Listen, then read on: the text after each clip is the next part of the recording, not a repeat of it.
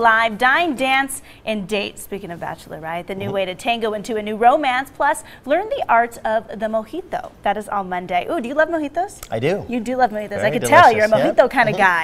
I want to give a very special thank you to our guest host, illusionist Dirk Arthur. Don't forget you, you can catch all of the illusions and the excitement of Dirk Arthur, Wild Illusions in the Starlight Theater. Show times are every weeknight except Fridays, which is why you're here today. So thank you so much for being here today. Thanks for having At me. At 7 p.m p.m. and matinees at 4 p.m. on Saturday and Sunday. For tickets, all you got to do is visit rivierahotel.com. So thank you again for being here. You got to come back and you promise that next time you come, you're going to do some illusions. We're going to do some big illusions. Like yes, what? Give us a little teaser. Well, I don't know. I don't want to give it away. We might make a helicopter appear. We might, you know, make a tiger appear. We'll oh do some exciting gosh. stuff for you. And you may bring the cats? Yes.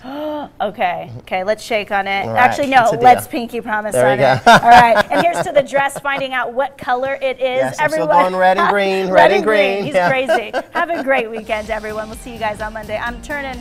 Bye. Say bye. Bye-bye.